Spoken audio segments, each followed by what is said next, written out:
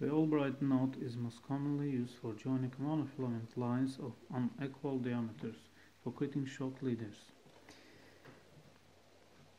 Now we taking two lines you see that one of lines is thicker and another is thinner line. Uh, we should make a loop on thicker line and insert another line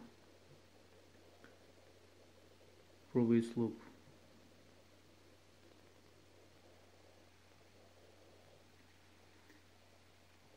Now hold it with fingers of the hand which you uh, hold the thicker line. Free end of thinner line about 5 7 inch that we will uh, use. We should uh, rub over this loop about 10 times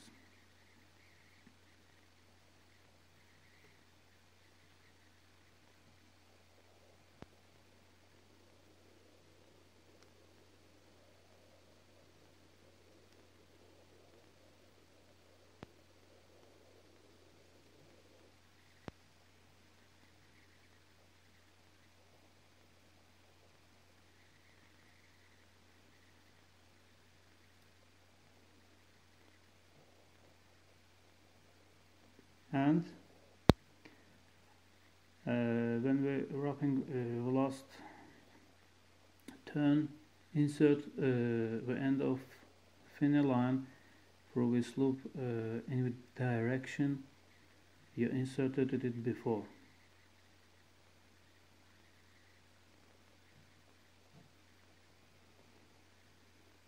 Now uh, we should moisten uh, and tight the lines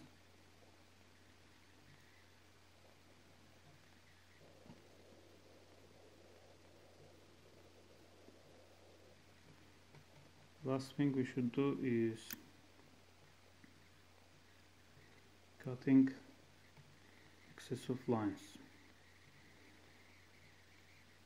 Leave about one or one and a half millimeters